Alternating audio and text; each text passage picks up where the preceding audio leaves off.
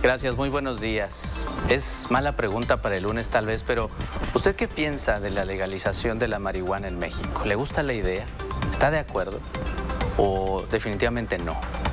Habrá que estar atentos, cual sea la postura de usted. De cualquier forma, habrá que estar atentos, porque para quienes esperan o promueven desde hace mucho tiempo que se legalice el consumo lúdico, la plantación y el comercio de la cannabis y de los productos derivados, mañana es el día.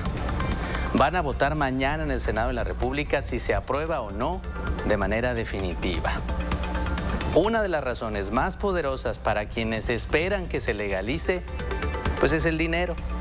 Hablamos de 5 mil millones de dólares que dejaría como ganancia esta hierba verde, que muchos quieren demasiado. Es lo que dicen las organizaciones que lo promueven y que además adelantan que ya hay hombres de negocios, como no, listos para invertir en la distribución en todo el país. Generaría por ahí de los 400 millones de dólares al año en recaudación de impuestos, según calculan, y beneficios económicos a los agricultores de al menos 66 municipios del país. Dinero, poderoso caballero es don dinero.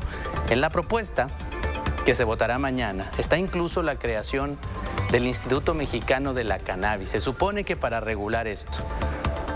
Dicen sus promotores, los promotores de esta ley, que también podría minorar la guerra del narco. Aunque se antoja absurdo, dicen los especialistas, porque con un poco de lógica basta para saber que el negocio de la delincuencia organizada en México no es la marihuana. Se ha diversificado tanto que la cannabis es hasta un producto tradicional para ellos y no es el centro de sus ganancias. Está lejos de serlo. Quienes no están de acuerdo advierten una cruda realidad, el grave problema de adicciones que ya enfrentamos en todo México. No a la marihuana, aunque se consume en muchas partes, donde menos usted se imagina, pero sí hay un exceso de consumo de enervantes, hay adicciones. El costo de esto representa algo muy alto y la cantidad también de vidas que destruyen las drogas desde la infancia incluso es preocupante. Tal vez habría que escuchar un poco más a quienes han vivido esto y ver qué están haciendo aquellos lugares del mundo donde ya se legalizó. Pero no nada más legalizaron, nada más hicieron una ley, también tuvieron que cambiar algo, tuvieron que reforzar para no caer en el desorden total si es que no cayeron.